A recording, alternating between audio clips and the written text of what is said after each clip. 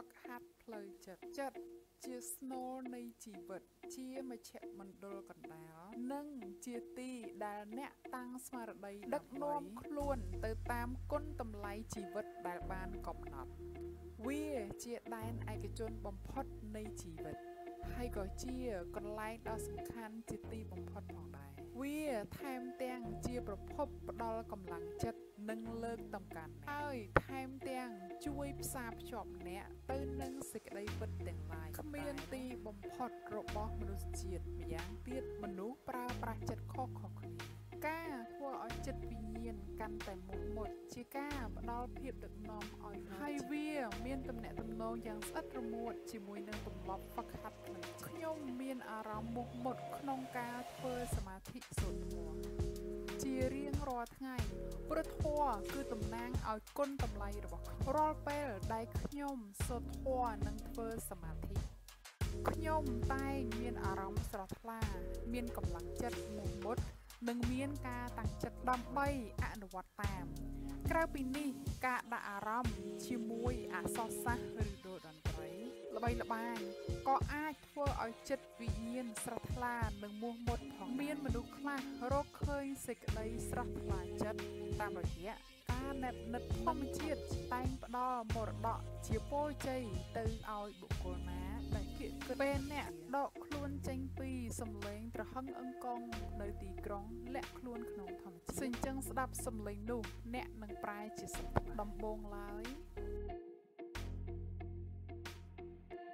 ចិត្តអ្នករឹងមាំគ្មានអ្វីអាចរំខានបានឬសឹងតែគ្មានកំហឹងនឹងក្តីអន្ទះសារអ្វីសោះតែបន្តិចមកសំឡេងខាងក្រៅចាប់ផ្ដើមចូលមកទន្ទ្រានផ្លូវចិត្តមួយនេះផ្អែកតាមលោក Arthur Gordon បានចែករំលែករឿងដ៏អស្ចារ្យនិងគួរឲ្យជក់ចិត្តមួយតាក់ទងនឹងបទពិសោធន៍ក្នុងការធ្វើចិត្តឲ្យស្រស់បំប្រងឡើងវិញដែលគាត់បានកត់ត្រាទុកក្នុងរឿងខ្លីមានចំណងជើងថា The Turn of Tide រឿង នេះបានពណ៌នាអំពីគ្រាមួយនៃជីវិតពេលមួយដែលគាត់មានអារម្មណ៍ថាអ្វីអ្វីគ្រប់យ៉ាងប្រែជាអាក្រក់នឹងដើរភាពស្វាហាប់របស់គាត់ប្រែជាស្ពឹកស្រពន់ការប្រឹងប្រែងក្នុងការសរសេរក្រោយលោកក៏សម្រេចចិត្តទៅជួបដុកទ័រក្រោយពីបានរូបកាយគ្មានបញ្ហា ដុកទ័រក៏បានស្នើឲ្យលោកចំណាយពេលទៅអង្គុយកន្លែងគាត់ធ្លាប់សប្បាយចិត្តបំផុតកាលពីវ័យគាត់អាចខ្ចប់អាហារទៅជាមួយគាត់តែគាត់មិនត្រូវនិយាយជាមួយនរណាម្នាក់ហើយមិនត្រូវអានសរសេរឬស្ដាប់អ្វីឡើយតមកដុកទ័រសរសេរក្រដាស់វិជ្ជបញ្ជាចំនួន4ហើយប្រាប់ថាត្រូវបើកម្ដងមួយម្ដងនៅម៉ោង9ម៉ោង12ម៉ោង3រសៀលនិងម៉ោង6ល្ងាចដុកទ័របន្ថែមថាពេលលោកធ្វើតាមក្រដាស់របស់ខ្ញុំហើយ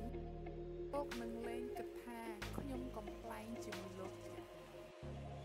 នៅព្រឹកបន្ទាប់កូដានធ្វើដំណើរទៅឆ្នេរសមុទ្រនៅម៉ោង9គាត់បើកក្រដាស់ទី1អាន ស្ដាប់ដោយយកចិត្តទុកដាក់គាត់បានគិតថាដុកទ័រប្រហែលជាឈួតតែដឹងហេតុអ្វីគាត់ចាំបាច់អង្គុយស្ដាប់រហូតដល់តែគាត់បានយកព្រមធ្វើតាមបញ្ជារបស់ដុកទ័រទៅហើយ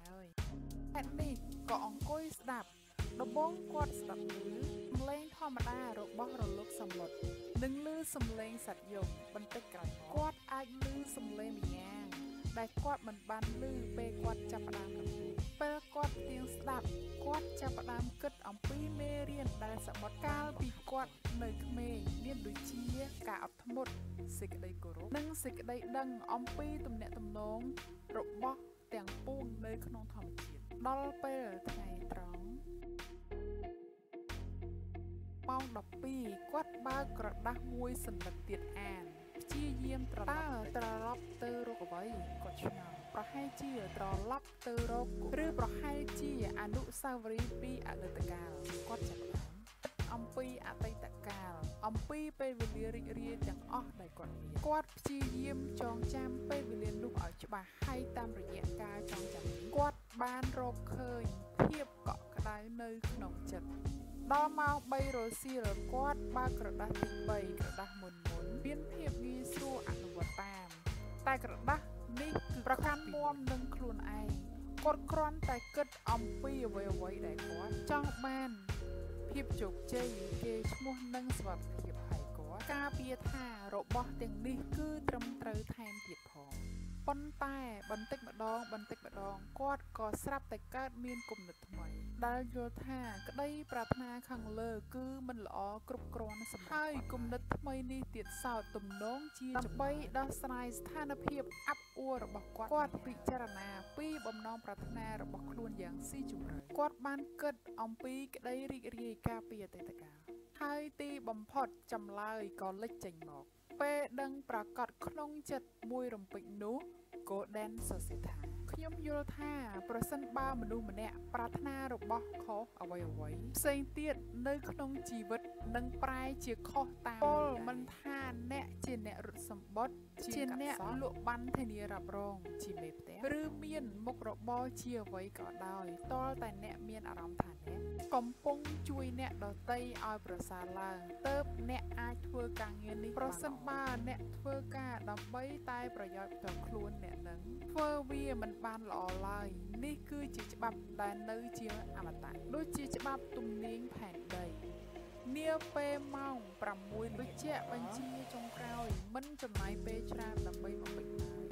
ក៏សរសេរក្តីកង្វល់របស់អ្នកដាក់លើឆ្នេរខ្សាច់ គាត់លុតចុះហើយសរសេរពាក្យពេចន៍ជាច្រើនដោយប្រើសបកក្រុមមួយបន្ទាប់គាត់ត្រឡប់ខ្លួនហើយដើរចេញទៅឆ្ងាយគាត់មិនមើលក្រោយព្រោះដឹងថាចំណូលសមុទ្រនឹងចូលមកហើយយកក្តីកង្វល់នោះទៅសម្រេចចិត្តវិញ្ញាណត្រូវការពេលវេលាប៉ុន្តែវាគឺជាយើងមិនគួរគ្មានពេលវេលាដើម្បីមិនអើពើនឹងវាបានឡើយឯកសារយោង The 7 Habits of highly effective people សូមអរគុណជាអនេកសម្រាប់ការចំណាយពេលវេលាទស្សនាវីដេអូនេះរបស់ Sowan Daily ដើម្បីបន្តទទួលបានវីដេអូស្ដីអំពីជំនាញហិរញ្ញវត្ថុនិងការវិនិយោគសូមជួយ Subscribe